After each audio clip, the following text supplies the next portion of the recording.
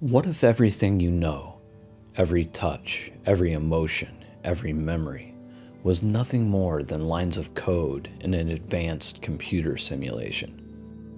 The concept of reality has been a topic of intrigue and debate for philosophers, scientists, and thinkers for millennia. In recent years, the theory that we may be living in a simulated reality has gained much attention. This idea is simply known as simulation theory. I know, I know. While simulation theory might sound like some straight up Matrix type shit, it's not as far fetched as it may seem. With the incredible pace of technological advancements, especially in virtual reality and AI, the lines between what's real and simulated are blurring. If we are in a simulation, what does that mean for humanity? As technology advances and our understanding of reality deepens, the simulation hypothesis has transformed from a fringe notion to a legitimate scientific proposal. Kind of. Long before the age of quantum physics and advanced computer simulations, the seeds of this profound question were sown. What is the nature of our reality? Is it all just the musings of a philosopher, the dream of a poet, or have we always been on the brink of this astonishing revelation?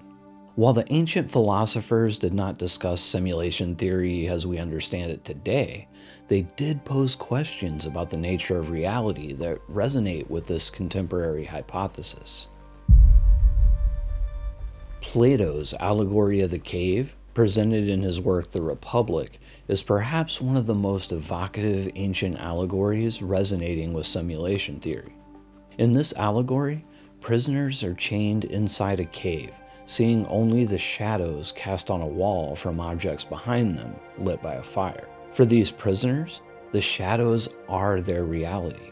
One prisoner, when freed and exposed to the outside world, realizes the shadows were mere representations and not real. Plato's allegory questions the nature of reality and suggests that the tangible world might be a mere shadow or representation of a higher, more authentic reality. This mirrors the idea of simulation theory, where what we perceive as real is just a projection or a simulation of a more profound reality. A foundational figure in modern Western philosophy, Descartes is famous for his method of systematic doubt. In his Meditations on First Philosophy, he contemplated the possibility of being deceived by a malevolent demon which could manipulate his senses and thoughts. While Descartes didn't think we were in a simulation per se, the idea that our perceived reality might be a complete illusion created by some external deceiver aligns with the premises of simulation theory. Berkeley, an idealist philosopher, proposed that the material world only exists as perceptions in our minds. According to his philosophy, objects exist only when they are perceived.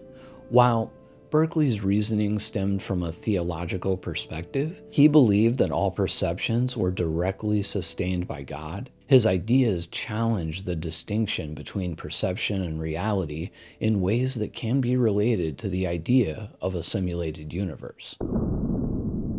In more modern times, with the advancement of technology and the concept of virtual realities, these ancient and early modern philosophical inquiries into the nature of reality have taken on new dimensions, leading to the exploration of simulation theory has a potential explanation for our existence.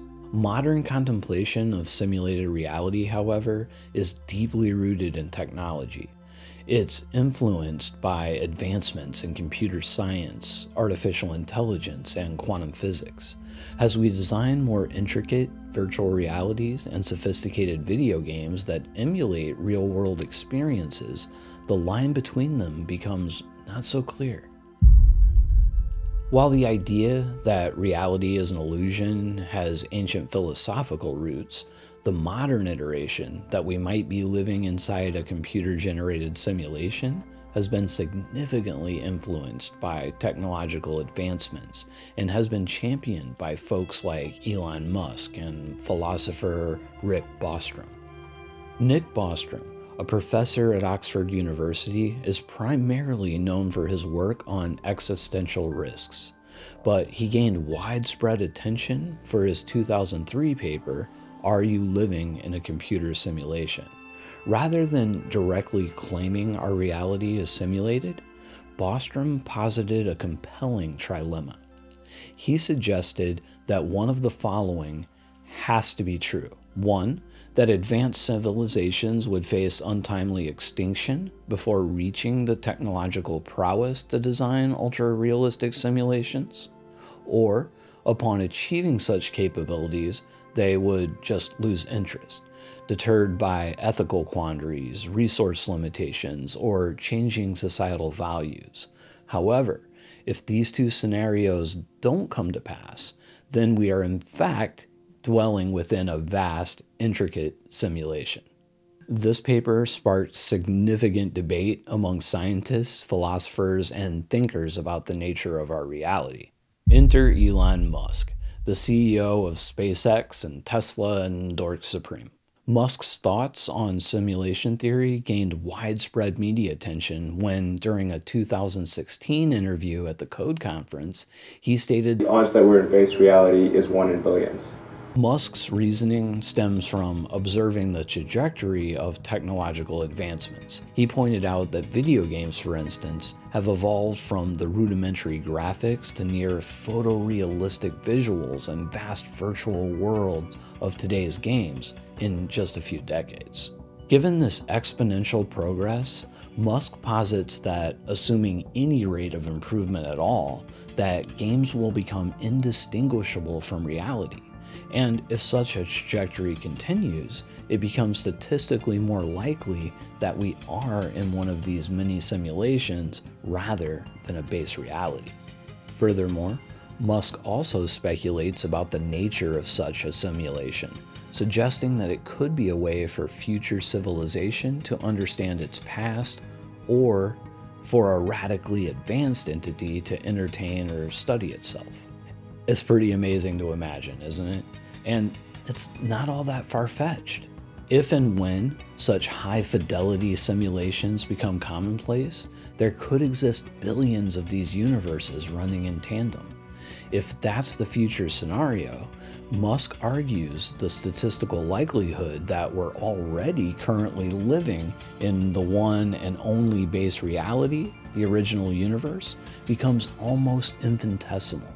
Instead, it's statistically more probable that we're in one of these countless simulations.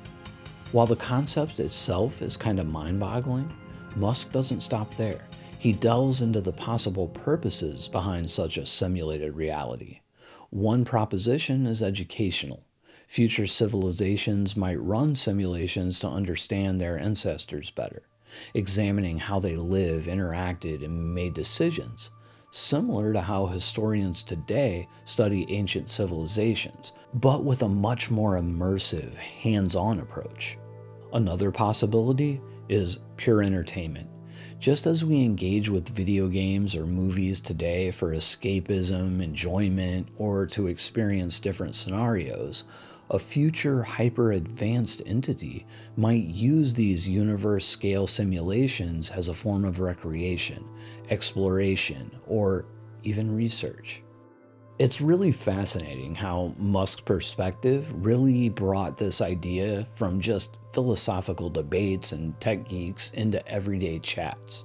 Whether or not you buy into it, you've got to admit that Musk's way of framing it makes us think deeply about how tech can influence or even change how we see our own existence. Maybe we should be hopeful that this is a simulation because otherwise.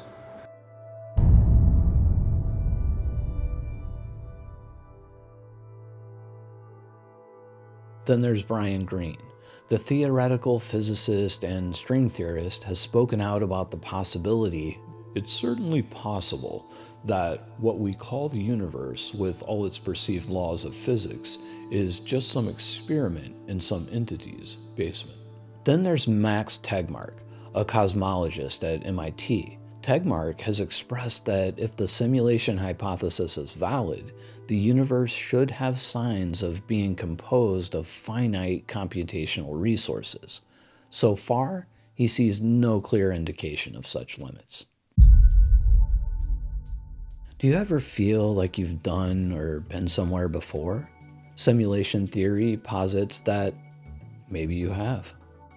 The Mandela effect refers to the phenomena where a large number of people remember something in a particular way, but it turns out to be incorrect or different in reality.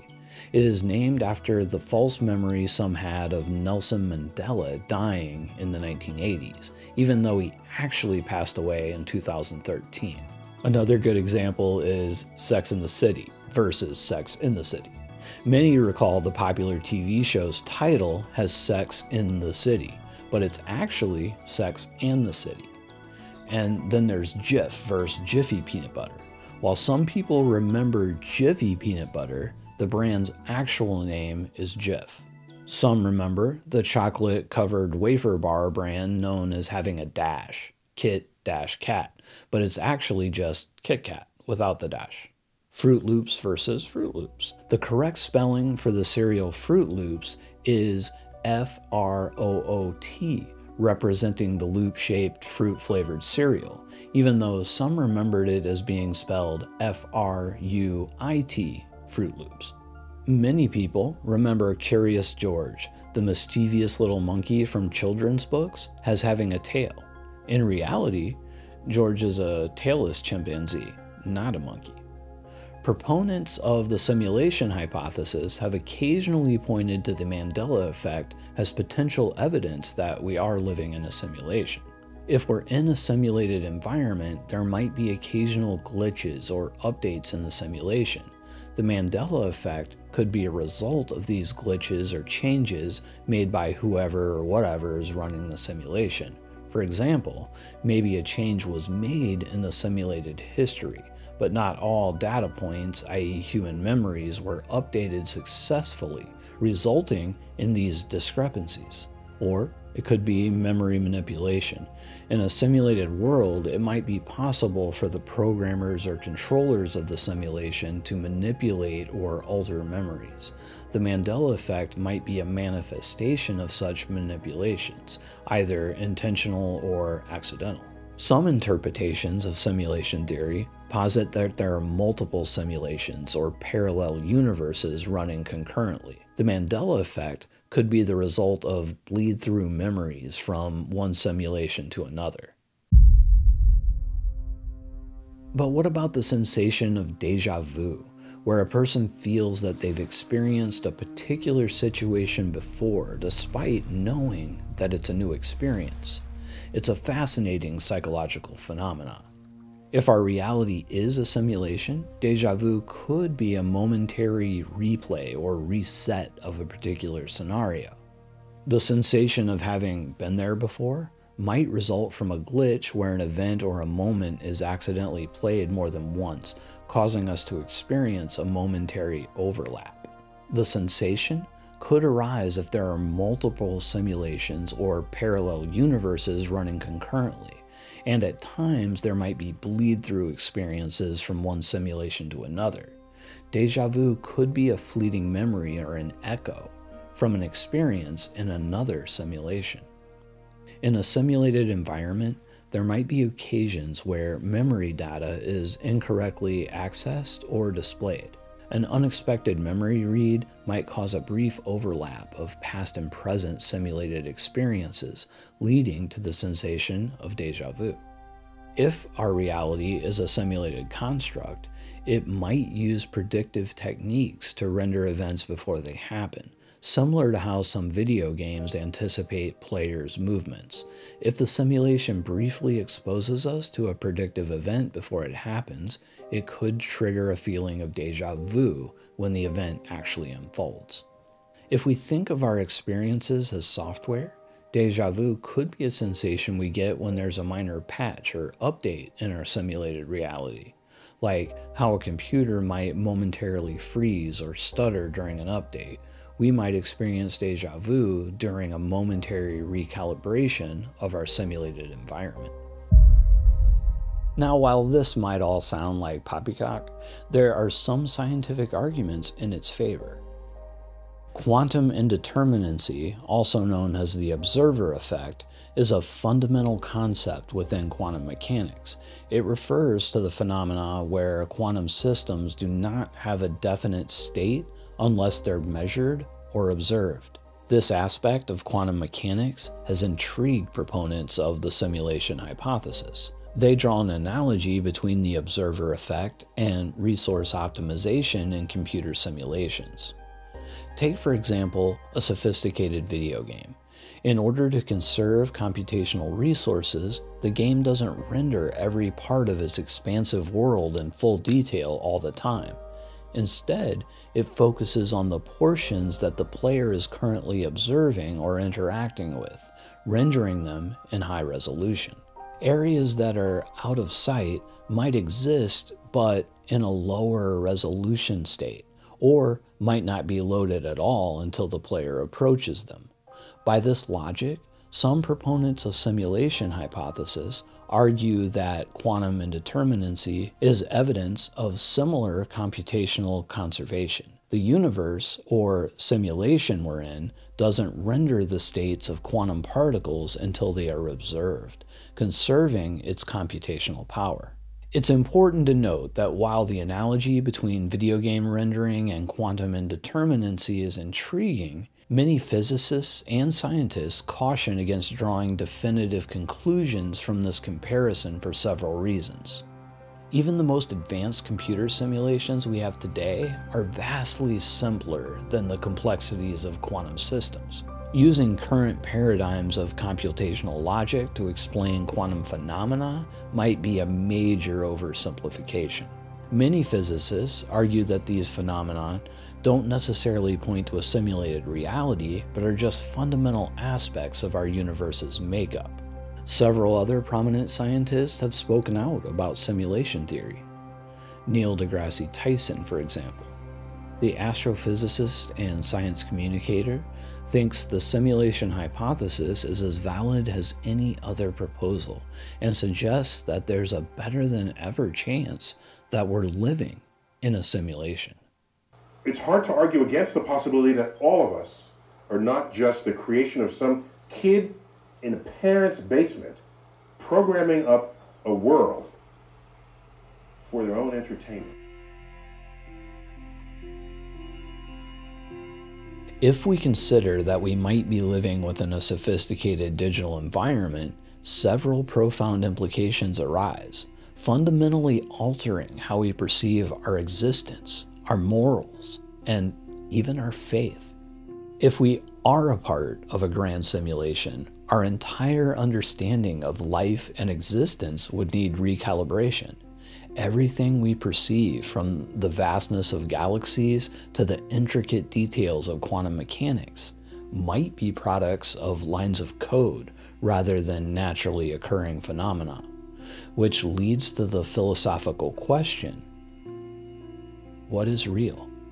If our experiences, emotions, and perceptions are consistent and coherent, does it matter if the foundation is digital rather than physical? For many, life's meaning is derived from a mix of personal experiences, societal constructs, and existential beliefs. If our reality is simulated, it begs the question is there a higher purpose behind the simulation? Or are we mere entertainment, an experiment, or perhaps a form of digital evolution?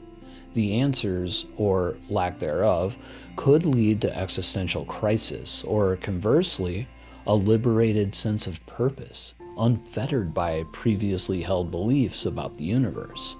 Paradoxically, the simulation hypothesis could lead to a heightened appreciation for life, whether organic or digital. The experiences, joys, pains, and sorrows might be perceived as equally valuable. After all, a simulated sunset can be just as breathtaking as a real one if our perception and emotional experience of it remains unchanged. And then there's the moral implications. The simulation hypothesis might challenge the very notion of free will.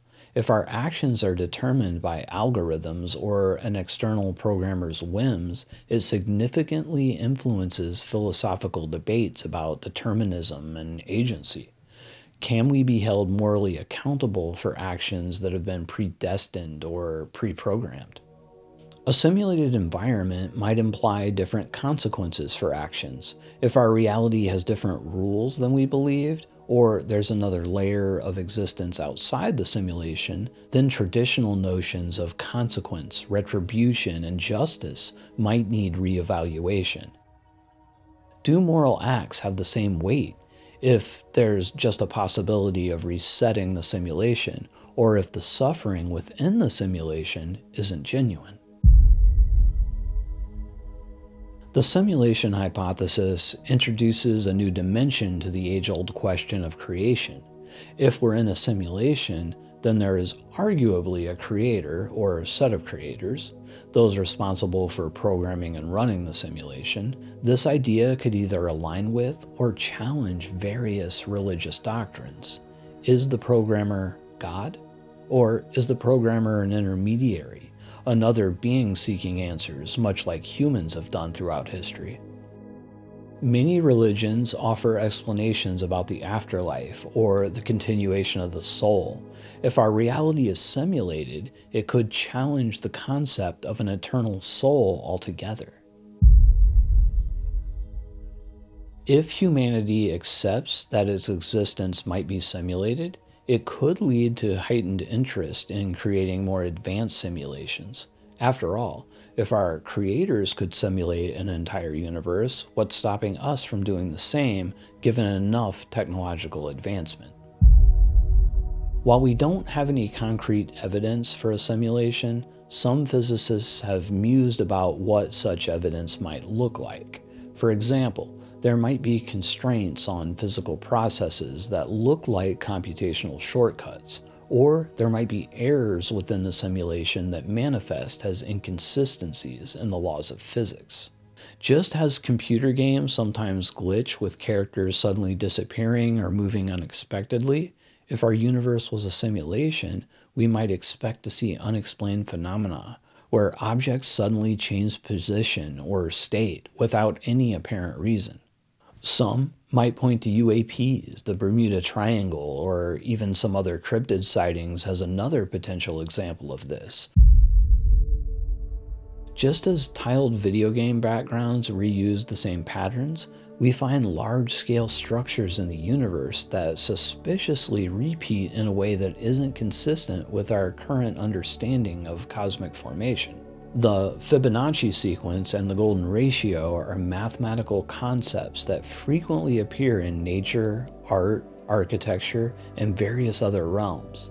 The Fibonacci sequence is a set of numbers that starts with a 0 followed by a 1 and then another 1 and then by a series of steadily increasing numbers. The sequence follows the rule that each number is equal to the sum of the preceding two numbers. The sequence can theoretically continue to infinity, using the same formula for each new number. Sunflowers often have a number of spirals that correspond to Fibonacci numbers, Pine cones and pineapples also display spirals of seeds or scales that frequently adhere to Fibonacci numbers. If our universe were a simulation, it might be programmed to favor or produce optimal configurations to conserve computational resources, similar to how video games are designed for efficiency. Such a predictable and consistent growth pattern in nature could be seen as evidence of a set, non-random rule akin to the predictable algorithms in computer programs. The Parthenon in Athens exhibits dimensions that are in proportion with the golden ratio, as does the Great Pyramid of Giza.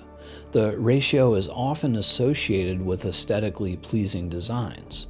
The reoccurrence of the golden rule here in human made structures across cultures and time could suggest an inherent design principle embedded in our simulated programming, guiding our preferences. Simple rules leading to complex outcomes, like exponential growth from straightforward reproductive rules, resemble computational processes, suggesting our reality might be algorithm based. The growth of rabbit populations, when idealized and simplified, can be modeled using the Fibonacci sequence. Starting with a single pair, the sequence represents how many pairs there are after each breeding cycle, capturing the essence of exponential growth. The Fibonacci sequence could be in use in a simulation for several reasons, like resource limitations. Just as video games have edges or boundaries, there could hypothetically be areas in the universe where one simply cannot go, or probe beyond. Not because of physical distance, but because the simulation doesn't extend that far. There might be computational constraints. For instance, if simulating every particle in the universe were too computationally intensive, the simulation might only render particles when they're being observed, a kind of extreme take on the observer effect in quantum mechanics. Many thinkers and scientists remain skeptical of the simulation hypothesis. Some of their criticisms revolve around it being unprovable, while others believe it's a non scientific, philosophical, or metaphysical proposal that can't be tested empirically.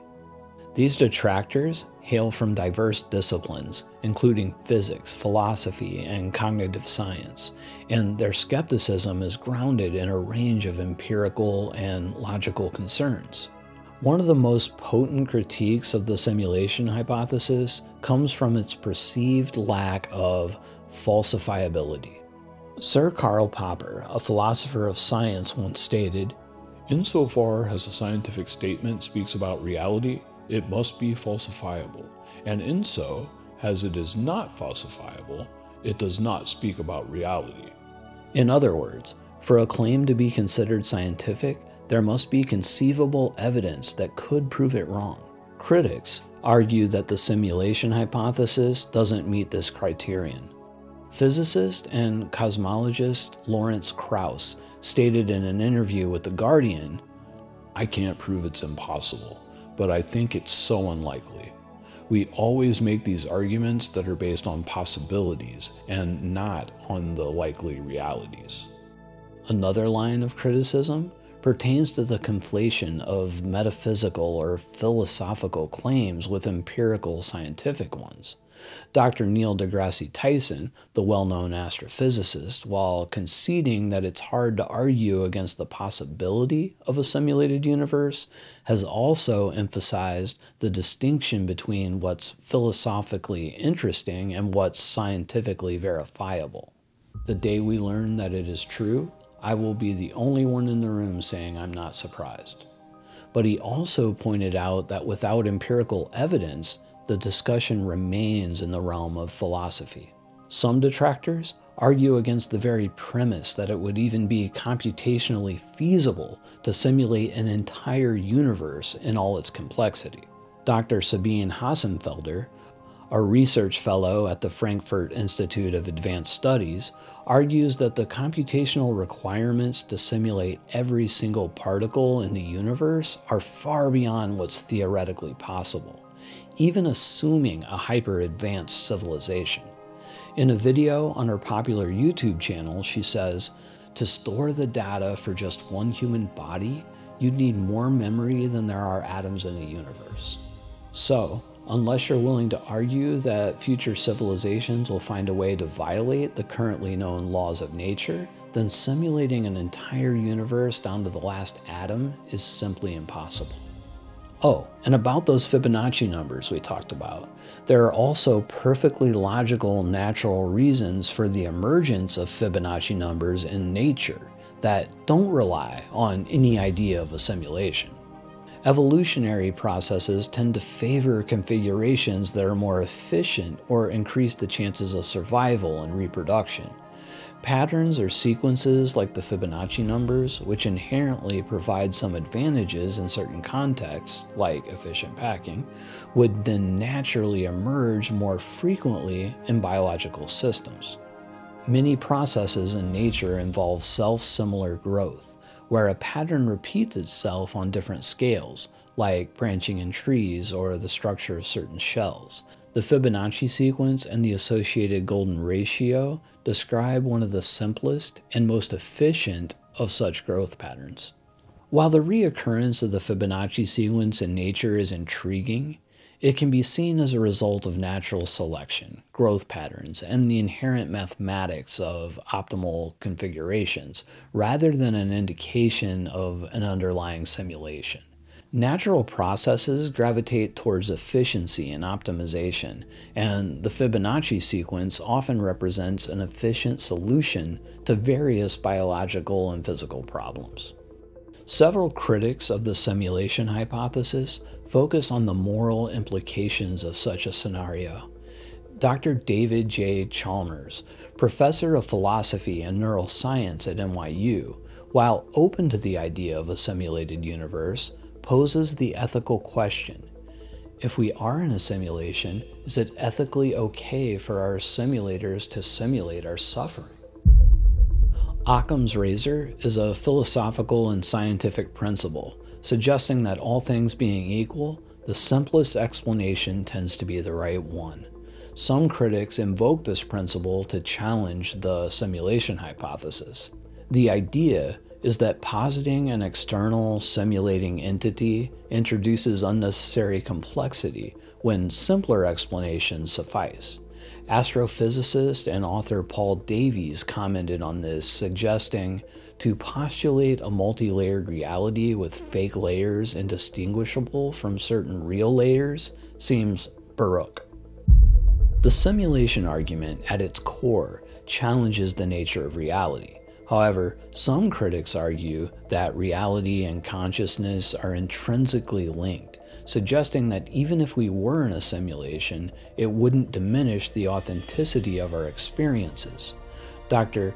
Deepak Chopra, while discussing the nature of consciousness, states reality is not in the physical world as it appears to be, it is in where we interpret the physical world. For critics like Chopra, the debate becomes less about the material nature of the universe and more about the subjective experience of consciousness and how it interprets reality. For critics like Chopra, the debate becomes less about the material nature of the universe and more about the subjective experience of consciousness and how it interprets reality.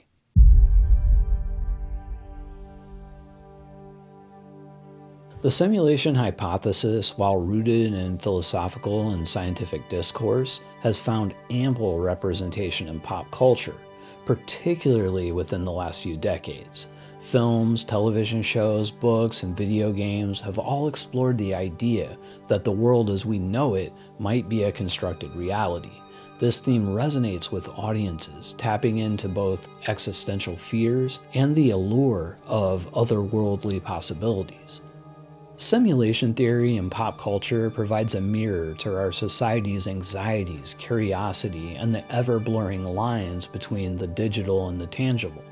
As technology becomes more integrated into our lives and our understanding of reality continues to evolve, pop culture will undoubtedly keep revisiting and reimagining the theme of simulated existence.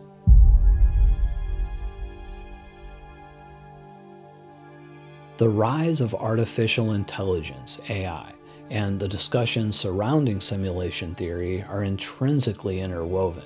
As AI systems become more sophisticated and our understanding of reality deepens, certain parallels and intersections between the two concepts emerge, making simulated reality seem all the more likely. In video games and virtual worlds, AI driven characters, non player characters, or NPCs, can display behaviors mimicking consciousness, raising questions about the nature of their existence. If an AI in a simulated environment believes it's alive or real, it parallels the idea of humans potentially being simulations within a larger system. A key question in the AI community is whether a sufficiently advanced AI could gain consciousness. If an AI becomes self aware within our universe, it could be analogous to humans becoming aware of a simulated reality. Just as we might use the Turing test or other measures to determine AI's consciousness or intelligence, a hyper advanced civilization could use similar tests to gauge our awareness or comprehension of the universe or simulation. If we're in a simulation and we create AI driven virtual realities, those are essentially simulations within a simulation. This recursive idea of nested realities can continue indefinitely. AI operates based on its programming and the data it processes. If our universe is a simulation, humans might similarly be following a predetermined algorithm of set rules, challenging our concepts of free will. AI models, especially in machine learning and neural networks, often evolve through iterative processes, learning and adapting over time. This digital evolution could be seen as a microcosm of broader simulated evolutionary processes in the universe, suggesting a possible mechanism for how a simulated universe might operate. Some proponents of simulation theory suggest that unexplained phenomena or glitches in our universe might be evidence of our simulated nature. In the realm of AI, debugging is essential to refine the system. Any irregularities or anomalies in an AI's behavior are analyzed and rectified. As AI advances, ethical questions arise about how we should treat virtual or AI entities. If we consider the possibility that we might be in a simulation, it reframes our understanding of existence and the rights of conscious or seemingly conscious beings, whether organic or digital. AI advancements offer not only technological marvels, but also profound philosophical and existential questions that echo and intersect with the ideas posited by simulation theory. As we push the boundaries of AI, these questions will become even more pressing, urging us to reevaluate our understanding of consciousness, reality, and the very nature of existence. The evolution of artificial intelligence has substantially affected our perception of reality and makes the idea of a simulated reality a little more feasible. As AI systems become increasingly sophisticated, the distinction between what is simulated and what is real is not so transparent anymore. The notion that our very existence might be nestled within a grand simulation is both breathtaking and in moments slightly unnerving. It's a thought that, like gazing up at a starlit sky or delving into the vastness of the universe, awakens a sense of wonder and a tinge of existential mystery within us. While we stand here without irrefutable proof on either side of this cosmic riddle, the simulation theory offers a mesmerizing prism through which we can reflect on the age old questions of reality, existence, and the intricate dance of consciousness. Whether we're living within a grand designer's construct or the tangible universe we've always known, our very journey of questioning, of marveling, and of ceaselessly exploring stands as a tribute to the infinite wonder that is the human spirit.